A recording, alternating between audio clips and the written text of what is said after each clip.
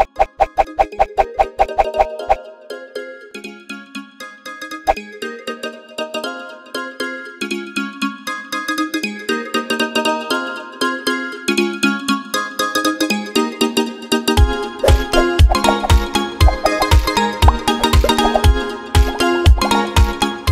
ยับปรับแต่งนะครับ เพิ่มตัว material texture ตามที่เราต้องการเลยครับ ตอนนี้ผมก็จะทำการหมุนก่อนนะครับ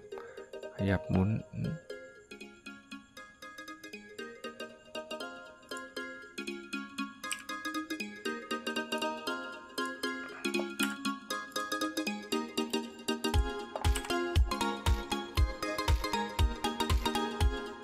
ตามความต้องการครับ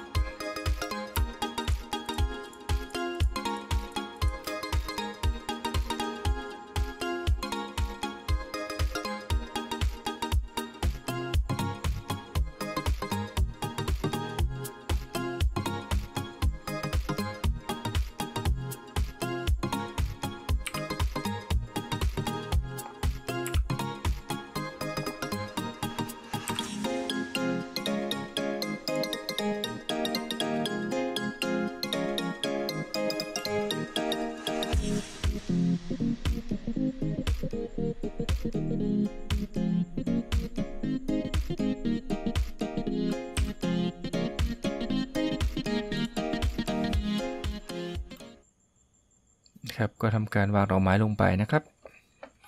ซึ่งเราก็อาจจะสามารถใช้เทคนิคที่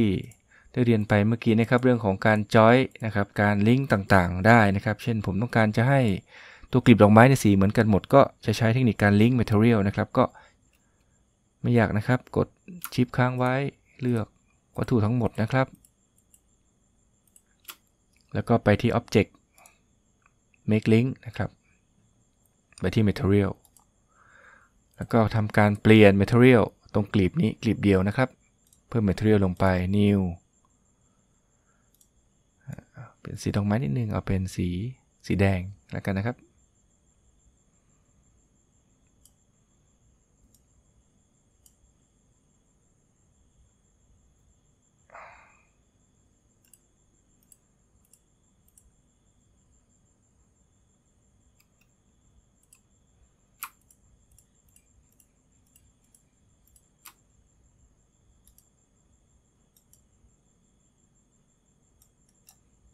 ครับก็จะเห็นว่า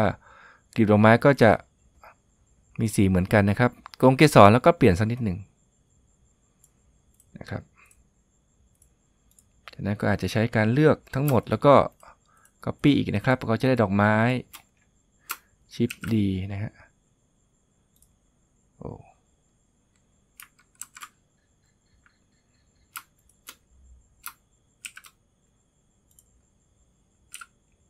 ทำดอกเล็กดอกใหญ่สักนิดหนึ่งนะครับ อาจจะหมุนนิดนึงนะเพื่อให้เกิดมีมิติ อันนี้ก็อยู่ที่การออกแบบของเรานะครับ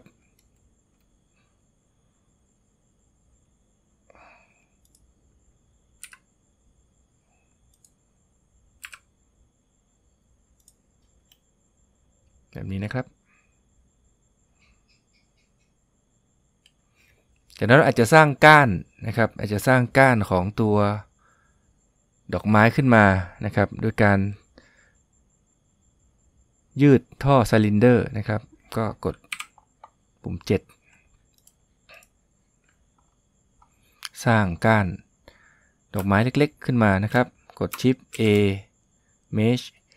แล้วก็ไปที่ cylinder นะครับ ก็จะเห็นว่าใหญ่มากเพราะเราสร้างทั้งดอกนิดเดียวนะฮะอันเล็กนิดเดียว ก็สร้างเป็นก้านมานิดนึงนะ สร้างมาเสร็จปุ๊บก็อาจจะปรับเปลี่ยนมุมมองนะครับ ให้เป็นมุมมองด้านข้างครับก็จะกด 3 โอเค ก็เลื่อนดูนะครับ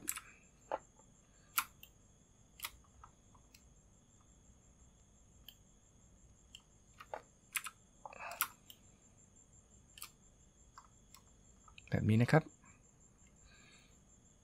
ก็ไปที่ Edit Mode ครับ กด Tab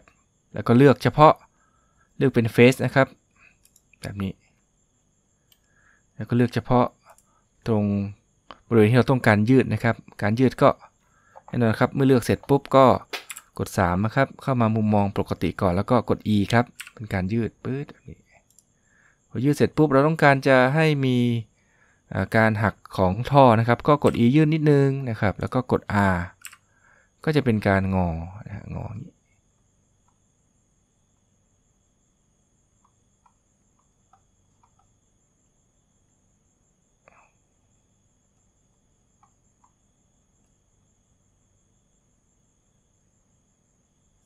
นะครับ แล้วก็กด E อีกครั้งหนึ่งก็จะยืดได้ เราก็ได้กิ่งดอกไม้ที่ มีลักษณะของการขยับนะครับเล็กๆน้อยๆ แบบนี้นะครับ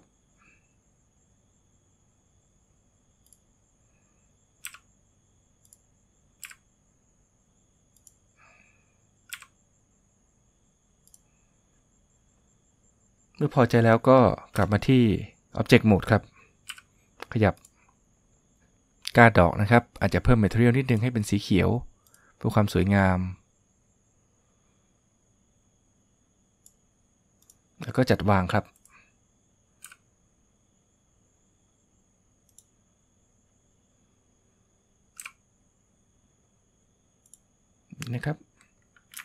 อาจจะกด Ctrl Alternate Q เพื่อเปลี่ยนเป็นมุมมองแบบ 4 จอนะครับ จะได้เห็นชัดๆว่า ตัวงานของเราเนี่ยเป็นยังไงพร้อมกับปรับมุมมองของกล้องด้วยนะครับจะให้เห็นชัดนิดนึงนี่นะครับ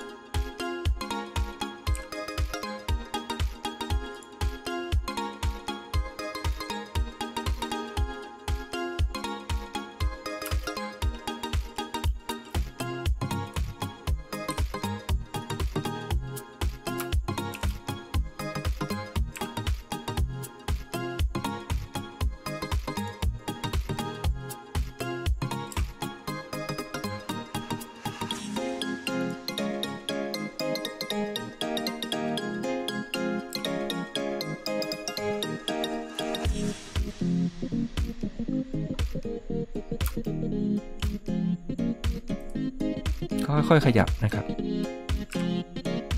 ขั้นตอนนี้ใช้เวลานิดนึง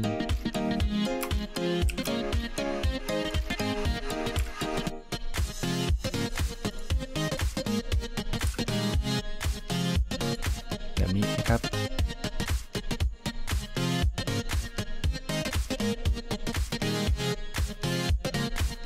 ก็อาจจะเพิ่ม เพิ่มพื้นสักนิดหนึ่งนะครับ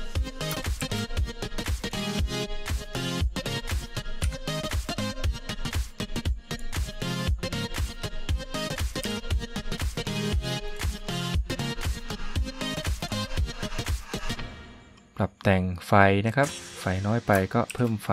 เข้าไป ให้สวยงาม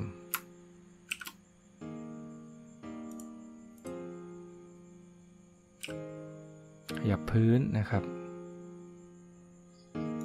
ก็อาจจะเพิ่มในส่วนของ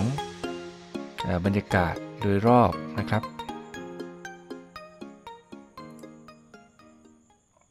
ไฟก็อาจจะปรับเป็นพระอาทิตย์ก็ได้นะครับ สักชิ้นหนึ่ง ก็ลองเรนเดอร์ดู ก็จะได้ดอกไม้นะครับกับแจกัน ถ้าเกิดดอกกลีบดอกไม้สังเกตว่าจะยังไม่ค่อยสวยนะครับ ก็อาจจะปรับได้นะครับ แล้วก็เพิ่มการสมูทเข้าไปนะครับ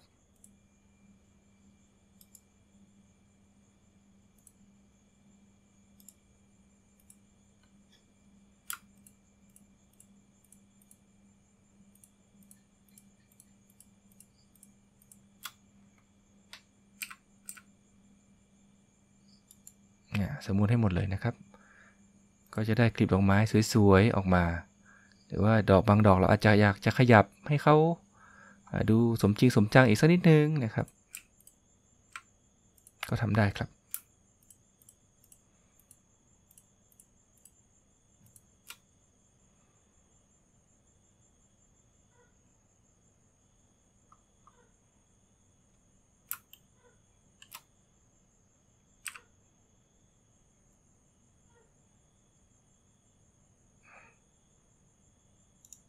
ครับพอใจแล้วก็เรนเดอร์ดูเลยครับ เราก็จะได้อ่าจากการดอกไม้นะครับ การดอกไม้แล้วก็ดอกไม้ที่สวยงามนะครับ